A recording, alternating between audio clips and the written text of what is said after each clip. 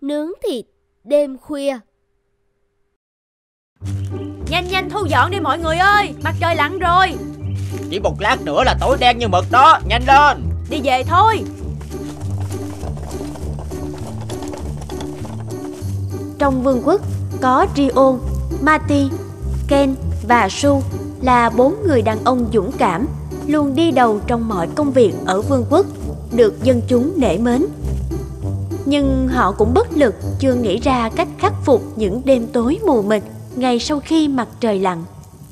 Chả lẽ ngoài mặt trời ra thì không còn gì có thể chiếu sáng trái đất nữa sao? Dù có lên trời, tôi nghĩ chúng ta cũng nên đi chu du thiên hạ một phen xem sao, xem ở nơi khác đêm đến họ sinh hoạt thế nào khi mà mặt trời lặn. Anh Su nói phải đấy, chỉ có đi đây đó chúng ta mới có thể tìm ra cách giúp cho người dân làng mình, vương quốc của mình. Chúng tôi lên đường đây, nhất định sẽ mang tin tốt lành trở về. Tôi tin là sắp tới đây, bà con chúng ta sẽ không còn sợ đêm tối nữa.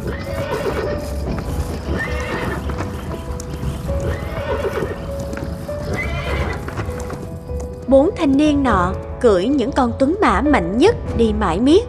Chẳng bao lâu đã rời quê hương đến một xứ sở xa xôi khác. Đến lúc phải dựng liều nghỉ qua đêm rồi các anh ạ. À. Nhanh lên thôi, mặt trời sắp lặn đến nơi rồi. Ừ, đó là gì vậy? Nhìn không giống đèn dầu, nhìn cũng không giống đốt đuốc. Vậy chúng ta mau lại gần hơn xem là thứ gì đang phát sáng đi. Ồ, thì ra là ánh sáng phát ra từ quả cầu này. Chắc là họ thắp nó lên từ khi mặt trời khuất sau núi Làm sao mà nó phát sáng được thế ờ, Các anh nhìn xem này Mọi thứ đều sáng rõ Đúng thế Chúng ta nhìn thấy nhà cửa, cây cối Ngay cả khi không còn bóng dáng mặt trời Mấy chàng trai ơi Tránh được giúp nào Trời ơi Giữa đêm mà còn có thể đánh ngựa Dạ xin chào bác Chả giấu gì bác Mấy anh em chúng tôi đều là từ nơi khác chu du qua miền này Xin bác cho hỏi Vật sáng đó là gì vậy ạ? À? Ồ, đó là quả cầu phát sáng đấy. Ông trưởng thôn của chúng tôi mua được nó về và đem treo ở đó. À, vậy bác ơi, làm sao mà nó sáng được thế kia?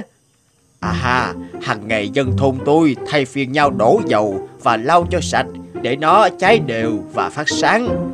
Thôn toàn người già nên cái công đoạn này cũng nhọc lắm. À, thì ra là vậy. Loại đèn như thế này chắc chắn cũng hữu ích ở nơi chúng ta sinh sống Thử hỏi ông trưởng thôn xem có thể mua nó ở đâu Các cậu không thể mua quả cầu nào như thế đâu Tôi cũng muốn mua thêm Mà người bán chỉ lắc đầu nói nó là cái duy nhất ông ta có. Nghe đầu à, ông ta tình cờ nhặt được Vào một đêm tối. À, Dạ cái, cái duy, duy nhất ư? Nếu muốn sở hữu nguồn sáng có 102 trong đêm Chỉ còn cách mang quả cầu này đi thôi. Như vậy là lấy cắp nó hay sao? Ông ấy đã nói Quả cầu đó cũng là người ta tình cờ nhặt được đấy thôi. Nó không phải của ai cả. Không phải lấy cắp Mà chúng ta hãy bí mật mượn tạm về quê hương mình. Nguồn sáng trời cho thì mỗi vùng nên hưởng một tí chứ. Ừ Cậu nói cũng phải. Chúng ta mượn nó dùng một thời gian, Rồi sẽ trao trả lại. Nhưng làm thế nào để mang nó đi Mà không bị người ta phát hiện chứ? Không có gì khó. Chỉ cần để người ta thấy mình chở cả quả cầu xuống Mà vẫn không mảy may nghi ngờ Thì lấy nó đi có khó gì đâu.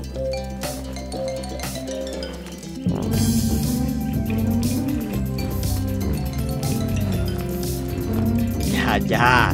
Tôi chưa bao giờ lau bóng được nó thế này đâu. Dạ Bác thứ lỗi cho chúng cháu. Tháo quả cầu xuống lau Mà chưa được bác cho phép. Nhưng bọn cháu mê cầu quá. Nếu được hãy cho bọn cháu ở lại đây để hưởng nguồn sáng kỳ diệu này mỗi đêm. Trong thời gian đó Chúng cháu sẽ được lau chùi vệ sinh quả cầu. À, Được chứ. Thôn chúng tôi toàn người có tuổi. Mỗi lần leo lên Mắc lại quả cầu cũng chẳng dễ. Các cậu ở lại đây thì còn gì bằng. Giao cho cậu phụ trách vệ sinh đó đấy.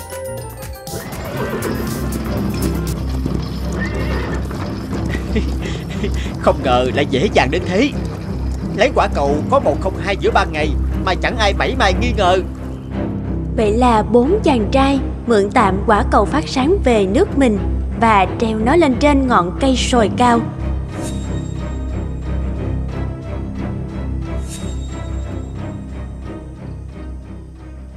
Trời ơi tuyệt vời quá. Thay vì đêm tối mù mịt bao phủ Quả cầu chiếu sáng khắp mọi néo đường rồi. Ừ đúng vậy. Tôi có thể nhìn thấy rõ mọi vật Như thể lúc mặt trời còn chưa lặn vậy. Ờ, quả cầu phát sáng này có thể coi là mặt trời trong đêm. Ừ đúng thế. Chúng ta có thể tận dụng ánh sáng này Để làm được nhiều việc hơn. Tất cả đều sung sướng biết bao. Từ hôm có quả cầu phát sáng Giờ nếu chúng ta đem nó đi Mỗi tối bóng đêm lại bao phủ khắp chốn Tôi không muốn chuyện đó xảy ra đâu Dù sao cũng không ai biết Chúng ta lấy quả cầu đi Nếu không họ chả phải lùng sục đi tìm chứ Hãy cứ dùng nó đi Không cần đem trả nữa đâu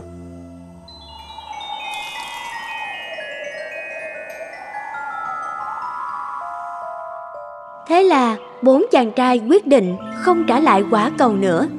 Lạ kỳ, chỉ sau một năm, họ trở thành những ông cụ già lão và ốm yếu. Tôi cảm thấy chúng ta đang bị trừng phạt.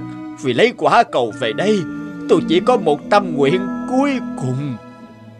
Ông bảo nói đi, Chúng tôi nhất định sẽ thực hiện cho ông. Khi tôi chết đi, Mọi người hãy để một phần tư quả cầu theo tôi Đến thế giới bên kia. Nhất định phải làm như thế. Tôi đã hy sinh vì nó. Tôi muốn được sở hữu nó. Mà đi, Ông hãy yên nghỉ nha. Chúng tôi đã làm theo đúng tâm nguyện của ông rồi. Vì quả cầu này Chúng ta rồi cũng sẽ lần lượt được thần chết đến đón đi mà thôi. Dù sao cũng không thay đổi được nữa. Tôi cũng như ông Ken Muốn mang theo một phần quả cầu Đến thế giới bên kia. Không lâu sau đó, ba người đàn ông còn lại là Rio, Mati và Su cũng lần lượt qua đời. Tâm nguyện mang theo một phần quả cầu phát sáng của họ được thực hiện. Đến khi người cuối cùng trong số bốn người từ giả cõi đời, thì phần tư cuối cùng của quả cầu phát sáng cũng được lấy xuống chôn cùng người quá cố. Ê, Thật không hiểu chuyện gì đã xảy ra nữa Từ khi lấy được quả cầu phát sáng về Bốn cậu Ken, Su, Marty và Rio Bỗng dưng già đi, bệnh tật rồi qua đời Giờ thì quả cầu cũng biến mất Tôi thấy nó chỉ mang đến tai họa mà thôi. À, một quả cầu sáng xuất hiện tại địa ngục. À, Thật không thể tin nổi. Địa ngục trước nay là nơi tăm tối Một tia sáng cũng không lọt qua nổi. Ánh sáng này không chói chang như mặt trời Là ánh sáng dịu Nên rất hợp với cặp mắt sợ chói sáng Do sống trong tối quá lâu của những kẻ dưới địa ngục. Chỉ cần sở hữu được quả cầu sáng đó Nó sẽ dẫn đường giúp chúng ta sẽ trốn thoát khỏi được địa ngục này. Quả cầu thuộc về ta. Tránh ra ta nhìn thấy nó xuất hiện đầu tiên mà. Quả cầu là của ta. Các người hãy cùng ta Sẽ làm nên đế chế của quỷ. Con quỷ già kia mau tránh ra. Quả cầu là của ta Của ta. Đứng đầu vương quốc quỷ phải là ta. Ừ, Kia chẳng phải quả cầu phát sáng thiên thần lửa Đã làm rơi xuống thế gian. Sau đó tìm thế nào cũng không thấy hay sao. Sao nó lại xuất hiện chiếu sáng địa ngục? Khiến cho đám quỷ thức dậy làm loạn thế kia. Dạ thưa, Quả cầu phát sáng của thần lửa sau khi rơi, Được một người nhặt được, Mang về treo ở thôn Lạc Bình. Sau đó thì bốn người đàn ông từ nơi khác Đã đánh cắp nó về treo sáng vương quốc mình. Họ bị trừng phạt đầy xuống địa ngục, Nhưng mỗi người vẫn quyết định Mang một phần quả cầu theo khi chết. Kết quả là quả cầu đó giờ ở dưới địa ngục ạ. Vậy là họ vì lòng tham Mà thành ra như vậy. Không thể để lại quả cầu đó dưới địa ngục được. Bọn quỷ dữ thấy đường đi lối lại Sẽ làm loạn thế giới Nguy mất. Lập tức báo thiên thần lửa xuống dẹp yên Và lấy lại quả cầu phát sáng đó đi Mang lên bầu trời. Dạ thưa Thượng đế sáng suốt. Đám quỷ dữ to gan Các người dám đánh nhau Giành quả cầu sáng của ta. Đã bị đầy xuống địa ngục rồi Mà còn không biết hối cải. Hãy nhận lấy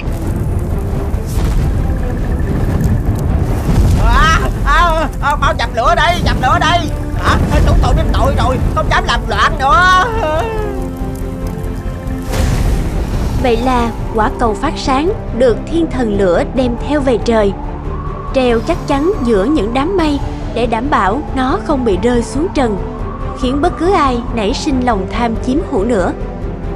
Đêm tối, luồng ánh sáng dịu nhẹ từ quả cầu được chiếu xuống khắp nhân gian. Người dân gọi đó là mặt trăng để phân biệt với ánh sáng rực rỡ của mặt trời ban ngày Mặt trăng bắt đầu xuất hiện trên trái đất từ thuở đó cô giáo chủ nhiệm.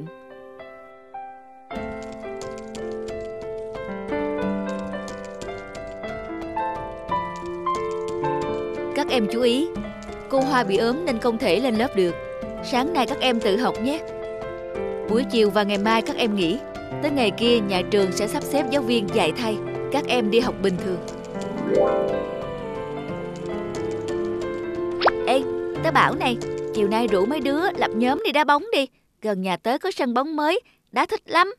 Được, được, tớ sẽ rủ thêm mấy bạn nữa cùng chơi. Các bạn chú ý, chiều nay lớp ta sẽ đi thăm cô Hoa. Các bạn tập trung ở cổng bệnh viện lúc 2 giờ chiều. Trước khi đi, mọi người nhớ xin phép bố mẹ nhé. Ừ nhỉ, chiều nay chúng ta sẽ đi thăm cô Hoa. Rồi mai hoặc là cuối tuần mới đi đá bóng nha. Ơ, lúc nãy cậu vừa đồng ý là đi đá bóng rồi cơ mà.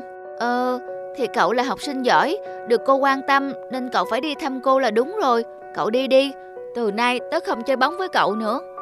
Cô Hoa là cô chủ nhiệm của chúng mình, cô ốm, chúng mình phải đi thăm cô chứ. Sao cậu lại nói như thế được? Cô chỉ quan tâm những đứa học sinh giỏi như cậu thôi, học hành làng nhàn như tớ thì cô đâu có để ý mà đi thăm cô làm gì. Sắp tới có giải bóng đá giữa trường ta với trường tiểu học Ban Mai, lớp ta sẽ chọn ba bạn nam vào đội bóng của trường. Trước tiên, cô lấy tinh thần xung phong. Mình chơi đá bóng giỏi nhất lớp, chắc cô Hoa sẽ chọn mình thôi. Cô rất vui vì các em đã nhiệt tình, nhưng lớp ta chỉ ba bạn được tham gia thôi. Quân, Khang và Khánh sẽ tham gia đội bóng của trường nhé. Thưa cô, tại sao cô lại chọn các bạn ấy mà không phải là em? Rõ ràng là em chơi bóng giỏi hơn các bạn ấy. Lúc nào cô cũng thiên vị hết. Sơn về nhà chép phạt 5 lần, Hoàng chép 10 lần. Ngày mai nộp lại cho cô, hai bạn rõ chưa? Thưa cô, tại sao em và bạn Sơn cùng mắc một lỗi như nhau? Vậy mà cô chỉ phạt bạn ấy phải chép 5 lần, còn em lại chép những 10 lần. Có phải tại cô ghét em nên lúc nào cô cũng thiên vị các bạn khác? Cô phạt bạn Sơn chép phạt 5 lần bởi vì bạn ấy mắc lỗi lần đầu. Còn em, em còn nhớ đây là lần thứ bao nhiêu em không học thuộc bài rồi không?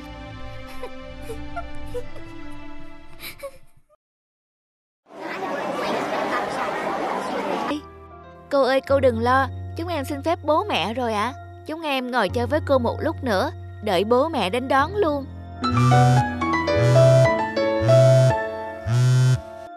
Alo, dạ đúng rồi, có chuyện gì vậy chị? Lúc chiều tôi đến đón cháu Hoàng mới biết lớp cháu được nghỉ từ sáng, nhưng tới giờ cháu còn chưa về. Tôi và bố nó lo quá, tôi biết là cô đang bệnh, nhưng cô làm ơn giúp chúng tôi với. Dạ được rồi, anh chị cứ bình tĩnh, đừng có lo lắng quá, tôi sẽ nghĩ cách bây giờ đây ạ. À. Mẹ bạn Hoàng vừa gọi, không biết Hoàng đi đâu mà giờ này vẫn chưa về tới nhà. Có em nào biết chiều nay bạn ấy đi đâu không? Dạ lúc sáng bạn ấy có rủ em chiều nay đi đá bóng. Không biết bạn ấy có ở ngoài sân bóng không nữa? Thôi được rồi Bây giờ sắp tới giờ bố mẹ đến đón các em rồi. Các em ngồi đây đừng có chạy lung tung nhé. Cô sẽ đi tìm Hoàng. Cô ơi chúng em cũng muốn đi tìm bạn Hoàng nữa. Cô cho chúng em đi với. Không được Bố mẹ các em tới đón không thấy các em lại lo. Cô sẽ có cách Các em cứ yên tâm đi. Không biết thằng bé đi đâu được nhỉ? À mình nhớ ra rồi Mỗi khi buồn em thường ra góc công viên ngồi để hồi tưởng lại những lần bố mẹ đưa em tới đây chơi hồi còn bé. Lúc đó thật sự em rất hạnh phúc. Cầu mong là em ấy sẽ tới đó. Trên đời này chẳng có ai yêu quý, chẳng có ai quan tâm mình cả. Mình chưa bao giờ được coi trọng hết. Cô giáo thì ghét mình, còn bố mẹ thì... Bố ơi, cuối tuần lớp con tổ chức đi tham quan, có cả phụ huynh đi nữa. Bố đi cùng con nhé. Ừ, con bảo mẹ đi, Cuối tuần bố có việc quan trọng cần phải làm rồi. Anh đi đi Cuối tuần em cũng bận Mà việc của em còn quan trọng hơn việc của anh nữa. Hoàng Hoàng à. Ôi may quá Tìm thấy em rồi. Cô Cô. Em có biết bố mẹ và cô lo cho em nhiều lắm không? Sao giờ này em vẫn chưa về nhà thế hả? Tại Tại em nghĩ chẳng có ai quan tâm tới em cả. Hoàng này Mỗi người có cách thể hiện sự quan tâm khác nhau. Chắc em cũng nghĩ cô không hề quan tâm em đúng không? Nhưng từ trước tới nay em mới chính là học sinh cô quan tâm nhiều nhất lớp đấy. Hoàng cũng xung phong ư? Đúng rồi, cậu bé chơi bóng rất giỏi. Nhưng dạo này cậu bé học rất yếu. Mình phải để cậu bé tập trung học hành mới được. Mình phải nghiêm khắc hơn với Hoàng. Cậu bé rất thông minh nhưng lại bướng bỉnh. Chỉ có cách phạt nặng Thì lần sau cậu bé mới không tái phạm nữa. Cô xin lỗi vì đã thể hiện sự quan tâm không đúng cách với Hoàng. Nhưng Hoàng này, em đừng có nghĩ là cô thiên vị hay không yêu thương em như các bạn trong lớp nữa nhé. Em, giờ em đã hiểu rồi. Em cũng xin lỗi vì đã thật ích kỷ. Em đã không ngoan, khiến cô phải lo lắng nhiều. Từ nay em sẽ chăm học tập và nghe lời cô ạ. À. Được rồi, được rồi. Bố mẹ em ở nhà đang lo lắng cho em lắm đấy. Chúng ta mau về thôi.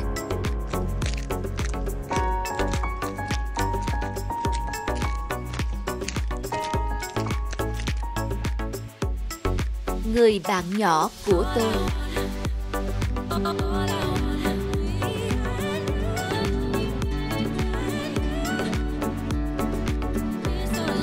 Hay quá, anh ta chơi nhạc chẳng thua kém gì những nghệ sĩ lớn trên sân khấu. Thế cậu không biết anh ta cũng từng là một nghệ sĩ nổi tiếng hả? Thật á, thế sao giờ lại...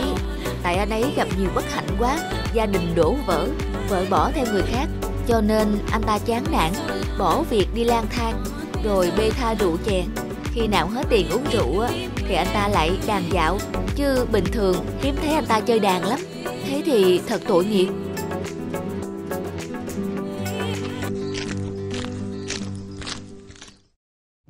Chào anh, tôi đã xem anh biểu diễn mấy lần. Vậy ư, có việc gì không? Vâng, tôi thấy anh chơi đàn rất hay. Tôi có thể mời anh về chơi đàn cho quán bar của tôi được không? Anh yên tâm, làm ở chỗ tôi thì công việc ổn định, tiền lương cũng rất hậu hĩnh. Cảm ơn anh, nhưng tôi không cần công việc, cũng chẳng cần nhiều tiền. Ờ, ờ, tôi chỉ cần thế này thôi.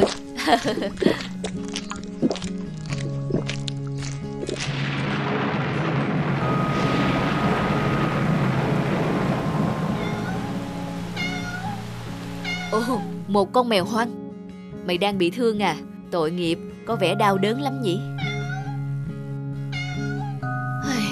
Mày cũng lạc lõng Đơn độc và đau đớn Như tao vậy. Được rồi, để kẻ cô độc này chăm sóc cho nào.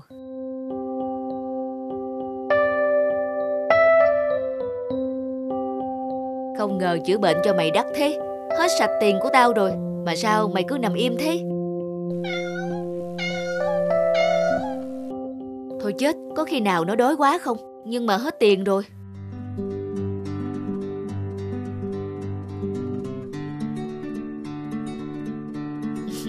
Vì mày mà hôm nay tao phải làm việc gấp hai lần đấy. Hay, rồi đây, ngoài tiền rượu ra, tao phải lo một khoản không nhỏ, tiền ăn và tiền thuốc cho mày rồi.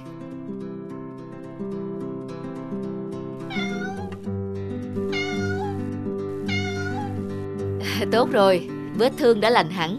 Hãy trở về cuộc sống cũ của mày đi. Quen hơi rồi không nở xa nhau ư. Nhưng tao chỉ là một kẻ lang thang nay đây mai đó. Làm sao có thể cho mày ở bên cạnh được? Hay, Thôi được rồi.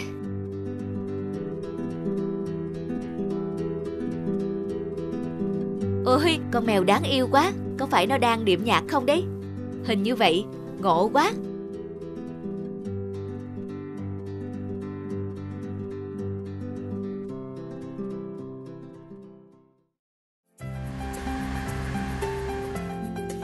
Người chơi guitar giỏi mà anh nói đang ở trong này à?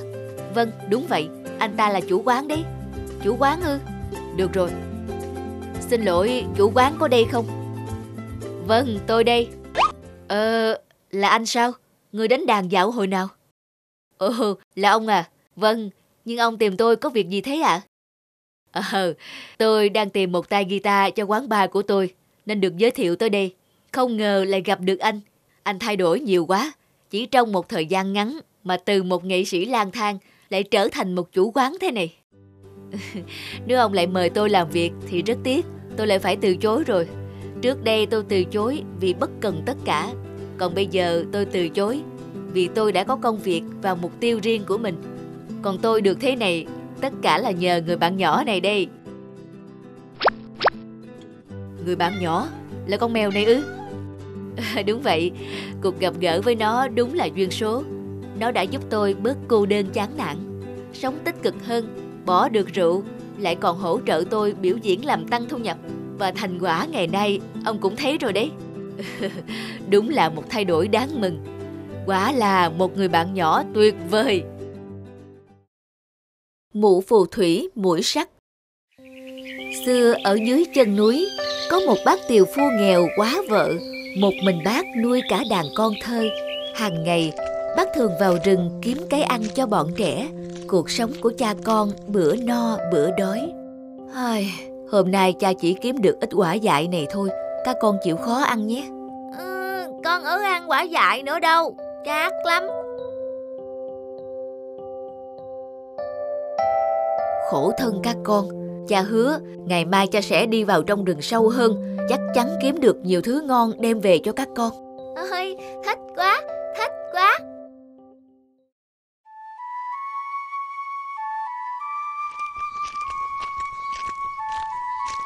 Ta đã đi sâu vào trong rừng rồi mà vẫn chưa kiếm được thứ gì ăn cho bọn trẻ.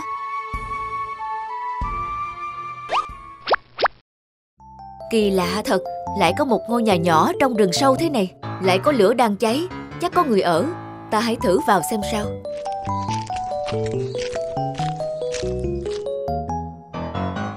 Có ai ở nhà không?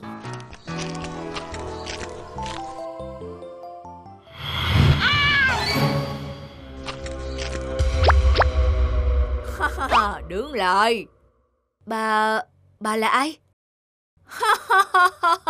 ta là phù thủy mũi sắt đây, người đừng hòng thoát khỏi ta. Thả tôi ra, thả tôi ra. đừng hòng, đã vào đây rồi thì đừng có hòng thoát. Tôi có làm gì nên tội mà lại giam giữ tôi thế này, thả tôi ra. Ta chỉ có thể tha chết cho ngươi với một điều kiện. Điều kiện gì? Người phải lấy ta làm vợ. Hả? Ta cho ông từ giờ đến chiều ngồi nghỉ nhé. Nên nhớ nếu không đồng ý lấy ta thì ta sẽ lấy mạng của ông. Sao lại thấy được cơ chứ? Cả đời này ta chỉ có một người vợ mà thôi. Đó là mẹ của các con ta.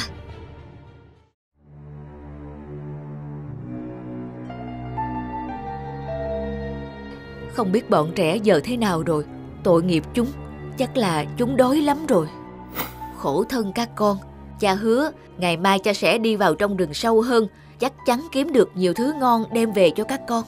Ôi, thích quá, thích quá. Không, nhất định là bằng cách nào thì mình cũng phải trở về với các con của mình.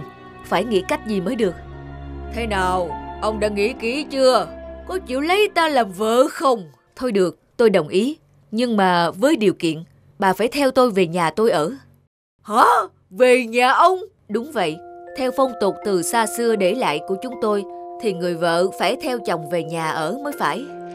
Theo ông ta về nhà ư, liệu ngươi có định dở trò không hả? nhưng mà, đằng nào thì mình cũng có phép thuật, chả có gì phải sợ hết.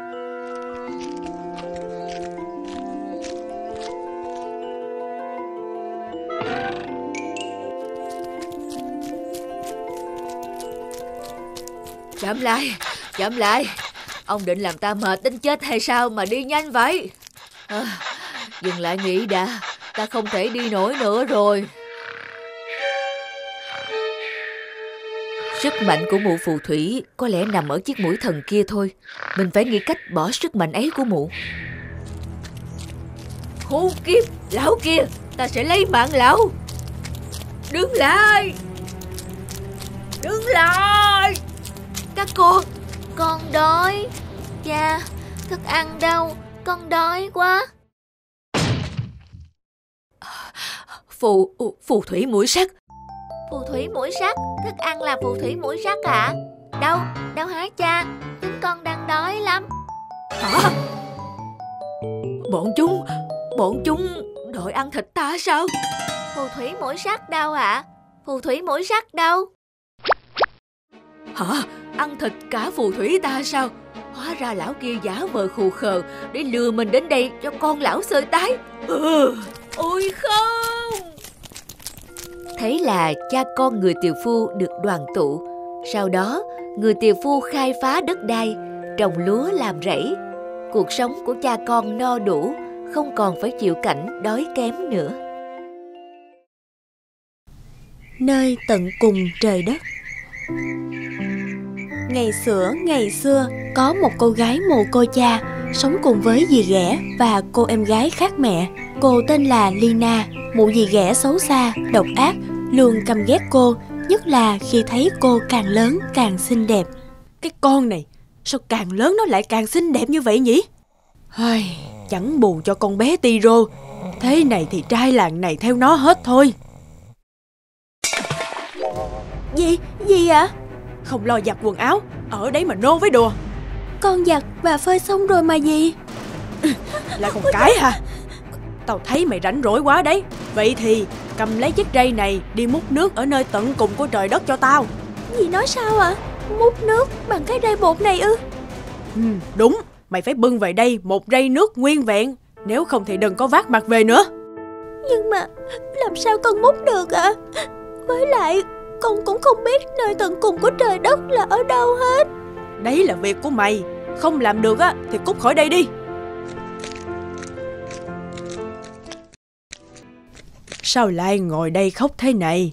Bà ơi, cháu phải đi đến nơi tận cùng của trời đất.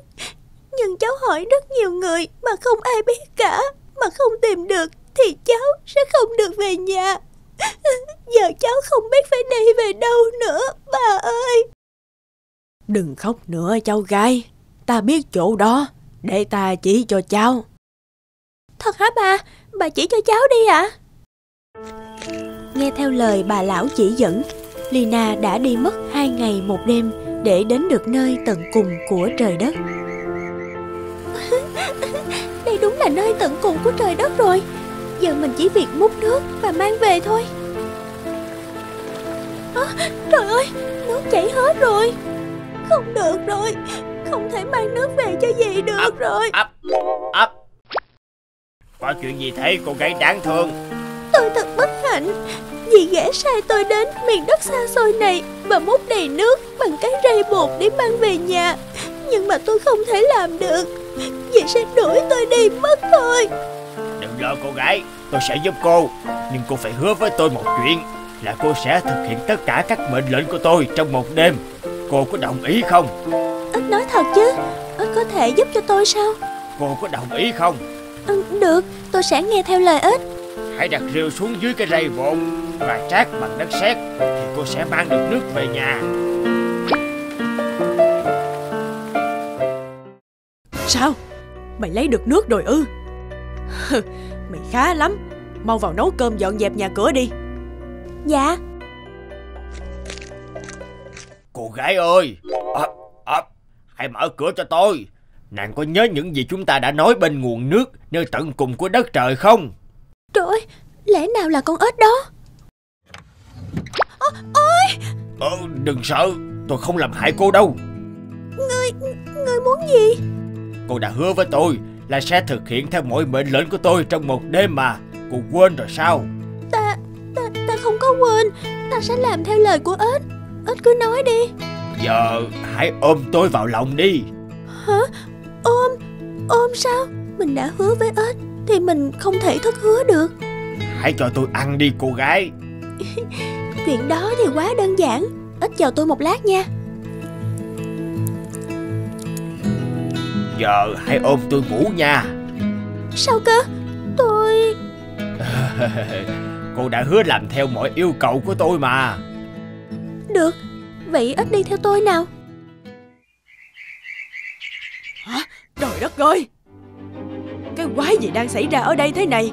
Con ếch gớm ghiếc kia ở đâu ra vậy? ừ, Dạ đây là bạn của con ạ. À? Bạn gì thứ ếch gớm ghiếc này? Thật kinh tởm. Chúng mày mau cút khỏi nhà cho tao ngay. Cút ngay!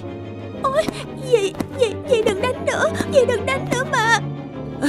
Mày mau giết chết con ếch này đi Nếu không cả mày và nó đều phải cút khỏi nhà của tao. Sao cơ? Ếch là bạn của con Con không thể giết ếch được. Xin dì hãy để ếch đi đi ạ. Không được Mày phải giết nó. Nếu không thì mày cũng phải cút khỏi đây. Con, con, con không thể. Gái hãy giết tôi đi. Ta không thể giết ếch được. Ếch đã từng cứu ta mà. Tốt nhất là mày hãy biến đi cùng con ếch xấu xí đó đi Cô hãy cầm con dao đâm vào người tôi. Đây là yêu cầu cuối cùng của tôi dành cho cô Trong đêm nay như lời cô đã hứa. Không, Đây là mệnh lệnh Cô phải làm theo. Cô đã hứa rồi mà. Tôi không thể giết ếch được. Nếu mẹ đuổi tôi đi Tôi sẽ ra đi cùng với ếch. Nào Giờ thì cô mở mắt ra được rồi đấy. Trời ơi Anh, anh là ai? Trời ơi, chuyện gì xảy ra thế này? Ta chính là hoàng tử nước láng giềng Đã bị một con yêu tinh độc ác yểm bùa biến thành ếch. Chỉ khi có cô gái nào đồng ý làm theo tất cả những mệnh lệnh của ta Trong một đêm Thì bùa chú mới được giải. Và người đó chính là nàng. Nàng đã giải thoát cho ta.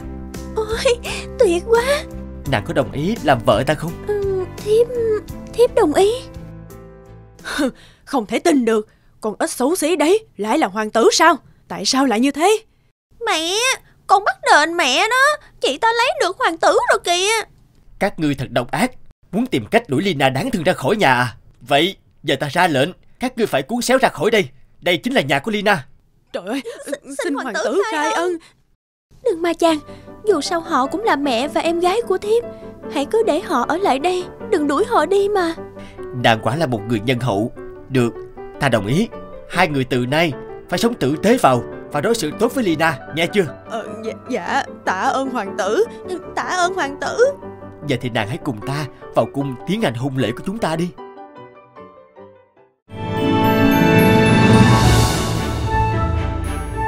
Hãy like, comment, subscribe kênh để xem thêm những video mới nhất nhé